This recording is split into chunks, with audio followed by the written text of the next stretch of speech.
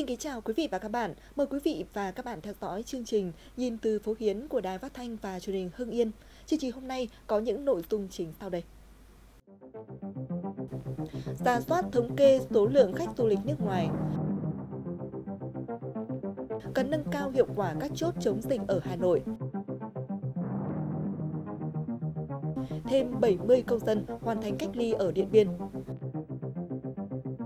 Yên Bái, thầy cô vùng cao vừa dạy học vừa tuyên truyền chống dịch. Sau đây là nội dung chi tiết. Thưa quý vị và các bạn, Tổng cục Du lịch Bộ Văn hóa Thể thao và Du lịch vừa có công văn gửi cơ quan quản lý du lịch các tỉnh, thành phố trên toàn quốc đề nghị thống kê số lượng khách du lịch nước ngoài hiện lưu trú tại các cơ sở lưu trú du lịch ở Việt Nam. Theo đó, cơ quan quản lý du lịch ở địa phương cần ra soát thống kê và báo cáo tổng số khách nước ngoài hiện đang lưu trú tại các cơ sở lưu trú du lịch trên địa bàn. Trong đó có trường hợp khách nước ngoài vì các lý do khách quan, khách bị cách ly do các hãng hàng không dừng chuyến bay hoặc quốc gia đến quá cảnh đóng cửa biên giới đang còn mắc kẹt và có nhu cầu rời Việt Nam. Bên cạnh đó, Tổng cục Du lịch cũng đề nghị các cơ sở kinh doanh lưu trú du lịch có khách nước ngoài bị mắc kẹt do dịch COVID-19 trên địa bàn tạo điều kiện hỗ trợ miễn giảm tiền phòng nghỉ, tiền ăn đối với đối tượng khách nêu trên. Cùng với 30 chốt kiểm soát dịch bệnh COVID-19 của thành phố Hà Nội, thì tại mỗi phường, mỗi khu phố hay thôn xóm cũng hình thành các chốt để kiểm soát người ra vào khu vực. Nếu như việc kiểm soát được thực hiện nghiêm ngặt ở những ngày đầu tiên thực hiện chỉ thị số 16 của chính phủ, thì đến mốc thời gian cuối kỳ thực hiện giãn cách xã hội, các chốt kiểm soát này đã hoạt động có phần kém hiệu quả. Đây là chốt trực của Ban chỉ đạo phòng chống dịch COVID-19 của phường Thịnh Liệt, quận Hoàng Mai, thành phố Hà Nội. Chốt trực không một bóng người. Trong khi chỉ cách đó chừng 100 mét, chốt trực của phường Giáp Bát lại vẫn hoạt động với 3 cán bộ làm nhiệm vụ. Việc thực hiện không đồng bộ thống nhất trên cùng một địa bàn đã khiến nhiều người dân băn khoăn về hiệu quả của các chốt phòng chống dịch. Ra thì uh, em cũng muốn là thực ra là có những người mà người ta ngồi ở đây ấy thì ờ, ý thức người người dân đi lại trong ờ, trong cái mùa dịch này nó sẽ chứ còn nếu như mà không ngồi như thế này thì người dân sẽ ra ngoài tự do ra vào nhiều ấy thì nó sẽ không tốt. Em thấy là chắc là vấn đề này vẫn còn lưới lỏng thì chắc là cấp ủy ban thì lên ờ, ờ, thắt chặt hơn thôi. Chốt phòng dịch COVID-19 này đặt tại khu vực cầm cầu Thanh Trì thuộc địa bàn xã Đông Dư, huyện Gia Lâm, thành phố Hà Nội. Bốn cán bộ ngồi trực đều tỏ ra khá mệt mỏi và không làm việc. Trong khi đó, tại các điểm chốt tại đầu các thôn trên địa bàn xã Tứ Hiệp, huyện Thanh Trì, mặc dù chốt trực chỉ có một người, nhưng cán bộ vẫn thực hiện ghi chú thông tin của người từ nơi khác đến. Vâng. Ai ở nơi khác đi ra đi vào là chúng tôi đều ghi hết à. ghi uh, thời gian người ta đi ra đi vào với cả biển số xe rồi là ở đâu điện thoại để coi như là chúng tôi biết là vào nhà ai đấy nếu mà ví dụ người à, ở nơi khác vào đây à. vào gia đình ấy nếu mà gia đình ấy bị thì coi như chỉ có người đưa, đưa vào theo ghi nhận trong ngày thứ 13 thực hiện lệnh cách ly xã hội, hầu hết các chốt kiểm soát phòng chống dịch Covid trên địa bàn thành phố Hà Nội đều hoạt động chưa hiệu quả do không kiểm soát được hết người và phương tiện qua lại các khu vực này. Cũng có ý kiến cho rằng việc người dân ra đường quá nhiều trong thời gian này cũng khiến việc kiểm soát quá tải và không thể thực hiện được. Hiện nay, một bộ phận người dân thủ đô có tâm lý chủ quan và chưa tuân thủ nghiêm quy định về giãn cách xã hội. Nếu không có giải pháp chấn chỉnh kịp thời, nâng cao hiệu quả các chốt kiểm soát thì việc phòng chống dịch sẽ thêm muôn vàn khó khăn. Sau hơn một tháng ra mắt, ứng dụng khai báo y tế tự nguyện toàn dân nCoV đã đạt hơn 6,43 triệu lượt tải với tổng số trên 11,3 triệu bản ghi khai báo y tế tự nguyện. Theo Cục Tin học hóa Bộ Thông tin và Truyền thông, tính đến 12 giờ trưa ngày 13 tháng 4, ứng dụng khai báo y tế tự nguyện toàn dân nCoV đã đạt hơn 6,43 triệu lượt tải với tổng số trên 11,37 triệu bản ghi khai báo y tế tự nguyện. Cùng với đó, tính năng quét mã QR trên ứng dụng nCoV giúp người dùng chia sẻ tình trạng sức khỏe của bản thân với người xung quanh và kiểm tra tình trạng sức khỏe của người đối diện đã đạt hơn 3,39 triệu bản ghi quét mã QR. nCoV là một trong hai ứng dụng di động hỗ trợ công tác phòng chống dịch COVID-19 được Bộ Thông tin và Truyền thông, Bộ Y tế cùng một số doanh nghiệp công nghệ trong nước khác xây dựng cho ra mắt ngày 9 tháng 3 năm 2020. Thưa quý vị và các bạn, trong ngày 13 tháng 4, tại khu cách ly của tỉnh Điện Biên đã có thêm 70 công dân hoàn thành thời hạn cách ly và trở về với cộng đồng trong niềm vui và kỷ niệm khó quên của những ngày qua. Sáng 13 tháng 4, tại khu cách ly của Ban Chỉ huy quân sự thành phố Điện Biên Phủ, tỉnh Điện Biên, Ban chỉ đạo phòng chống COVID-19 thành phố đã trao giấy chứng nhận hoàn thành cách ly cho 70 công dân trở về từ Lào. Đang trong thời cách ly tại Điện Biên, thì nhận tin bố ở quê mất, chị Thanh và hai đứa con không khỏi bàng hoàng đau đớn. Về đây cách ly 14 ngày thì nhà cũng có chuyện buồn, đó là chuyện của bố đẻ mất. Nhưng mà được cán bộ quan tâm và tất cả mọi người ở đây cũng cứ như là tình thân và tình anh em, bạn bè, đồng hương. Hôm nay mà về nhà thì là việc đầu tiên đó là thắp hương và quỳ trước mặt ừ, bàn thờ của bố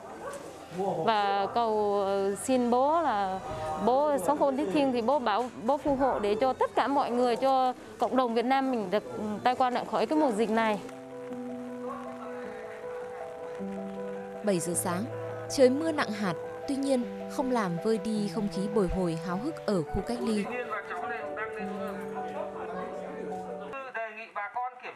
Đợt này, có 70 trên tổng số 130 công dân trở về từ Lào hết thời hạn cách ly.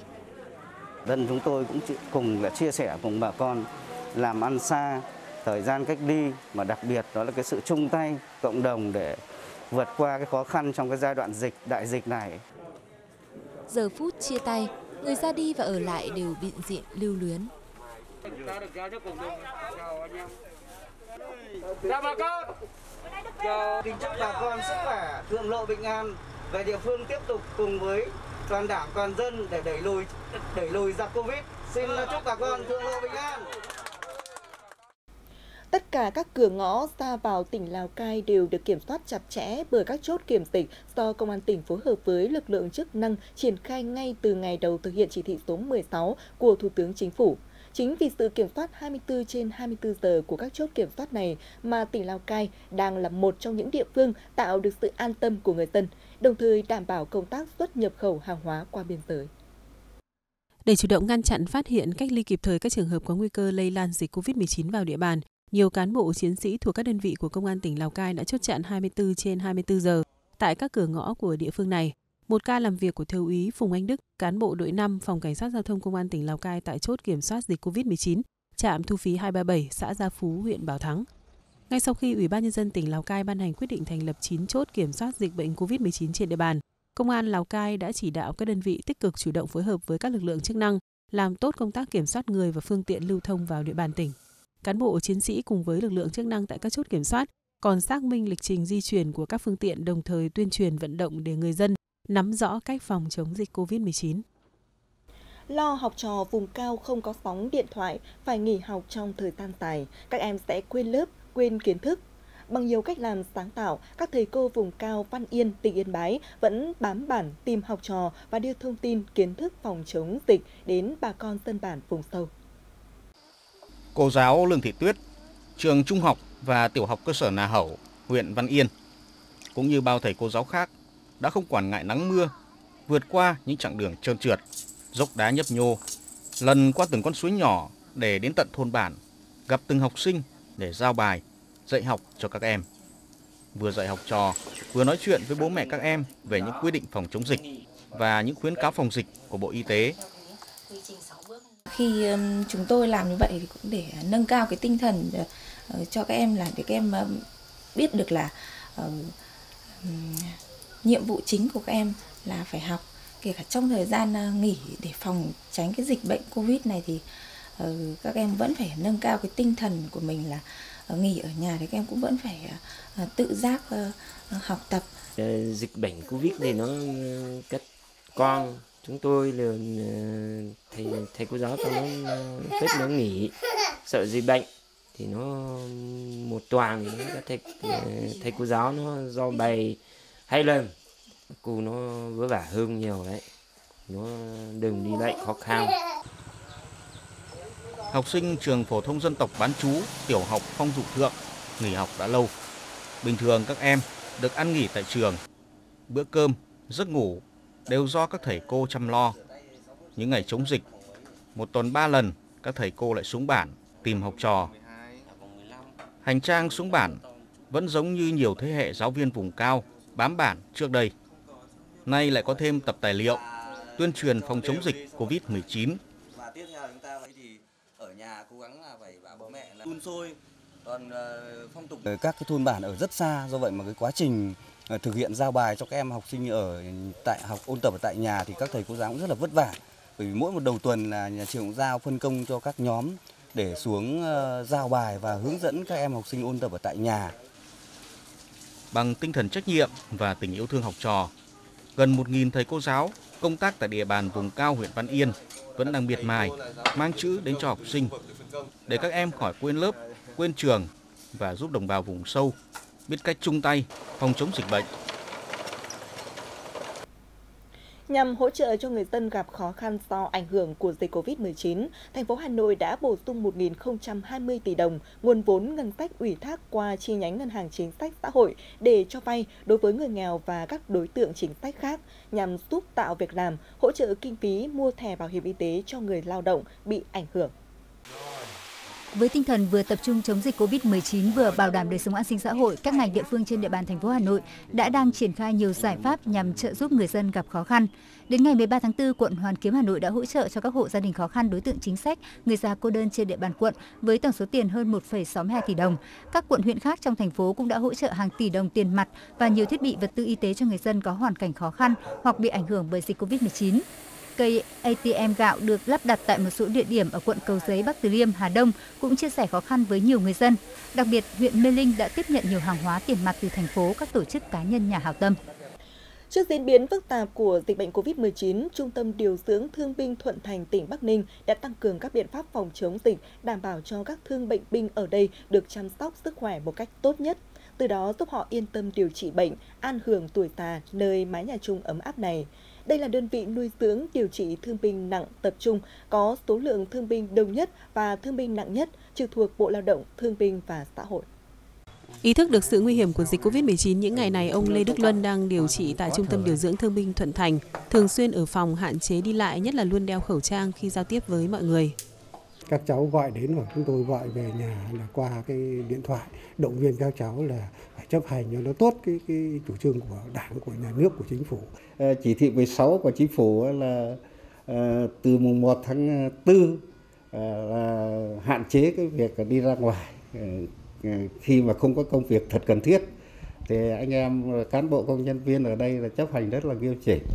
Hiện Trung tâm Điều dưỡng Thương binh Thuận Thành đang nuôi dưỡng, chăm sóc và điều trị cho 95 thương binh bệnh binh. Động viên các bác là khi có vấn đề gì về sức khỏe thì các bác bấm chuông thì chúng tôi xuống tận phòng thực hiện hai nhiệm vụ. Nhiệm vụ thứ nhất là hướng dẫn các bác đeo khẩu trang và cũng như là công tác vệ sinh. Chị đã tiến hành Ờ, phun thuốc khử khuẩn, ờ,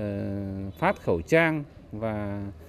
cho chốt trực ở cổng bảo vệ cơ quan, đo thân nhiệt, kiểm tra và ghi lại nai nịch những người khách đến ra và vào cơ quan. Phát huy phẩm chất bộ đội cụ Hồ, thương binh tàn nhưng không phế, những người chiến sĩ chống giặc năm xưa vẫn đang tiếp thêm động lực niềm tin cho các chiến sĩ trên mặt trận chống dịch, chung sức đồng lòng cùng nhân dân cả nước chiến thắng dịch bệnh.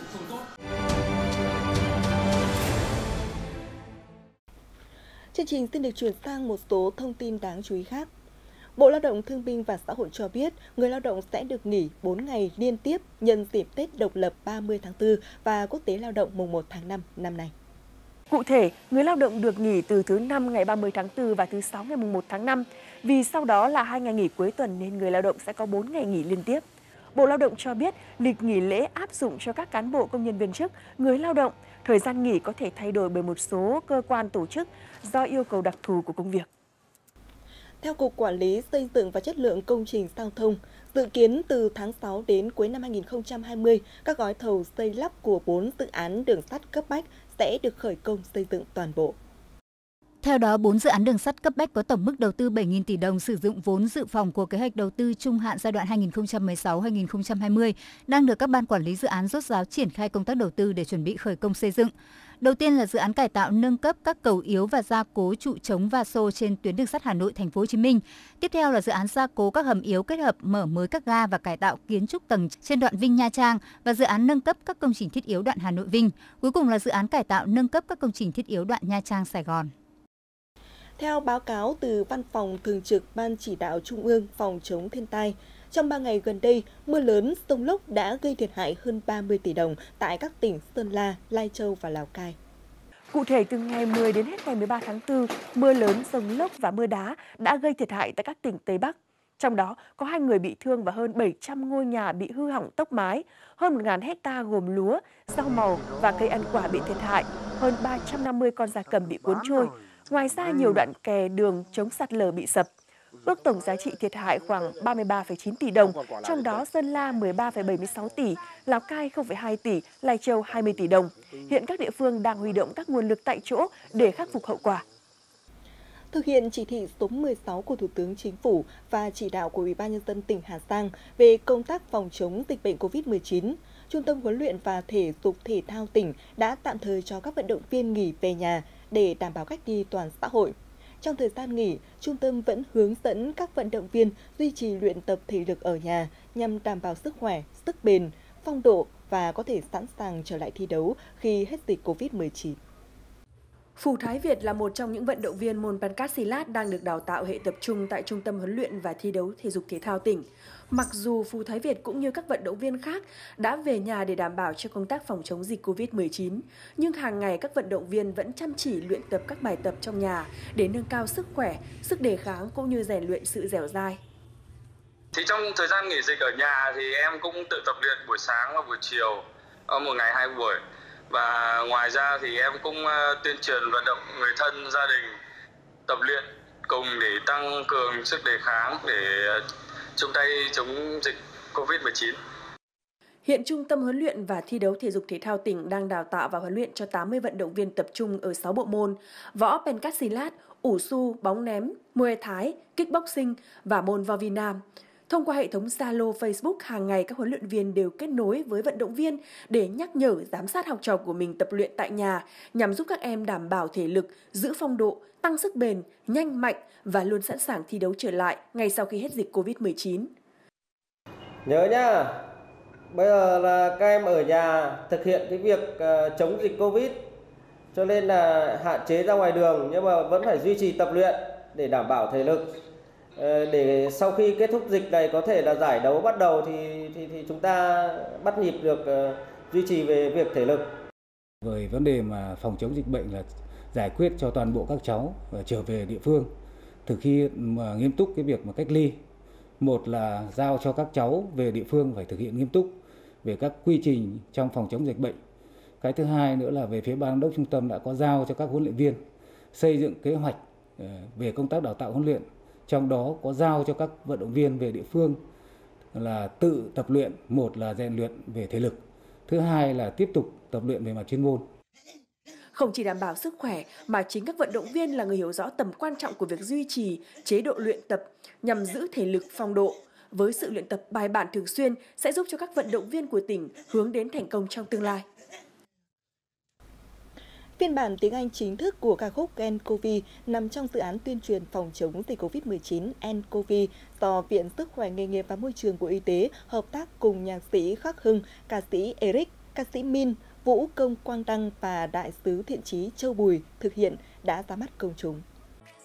Phiên bản còn được mô phỏng bằng ngôn ngữ ký hiệu với phiên bản tiếng Anh này, ca khúc Get Covid gây sốt trong nước và quốc tế sẽ tiếp tục lan tỏa mạnh mẽ hơn, tiếp thêm niềm tin cho cộng đồng và kêu gọi xây dựng thói quen phòng chống dịch COVID-19. Ca khúc Gen Covid phiên bản tiếng Anh đang được phát hành trên trang thông tin chính thức của Bộ Y tế https 2 sược sược ncovi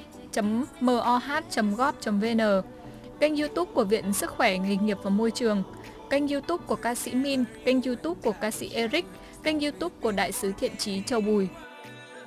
Quý vị và các bạn thân mến, thông tin vừa rồi đã khép lại chương trình Nhìn từ phố Hiến của Đài Phát Thanh và Truyền hình Hưng Yên. Cảm ơn quý vị và các bạn đã dành thời gian theo dõi. Xin thân ái chào tạm biệt.